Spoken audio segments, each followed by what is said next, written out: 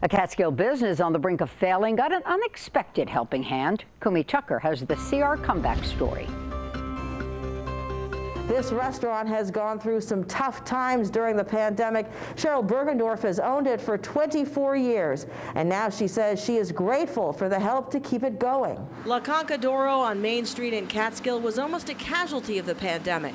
Bergendorff wondered how they'd survive. I really didn't think we were going to, and it was, it was down to the end. I mean, I'm, the stack of bills is this high. Her daughter reached out to the Barstool Fund.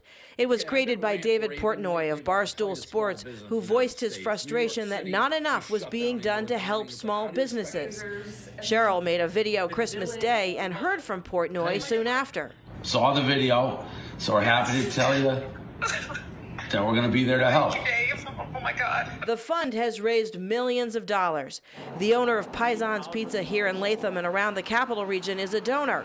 Paisans was also hit by the pandemic, but Portnoy's review of their frozen pizza was a boost. And now shipping those frozen pies nationwide is a thriving part of Paisans' business. Frank Scavio donated $10,000 to help others. And we says, you know, we got to help these guys out because there's a lot of local places that, you know, I've been here 30 years now that, that we love to go to, and their doors are closed. And it's hard for them to adapt and to make up. You know, you have 50%, you can't make that up.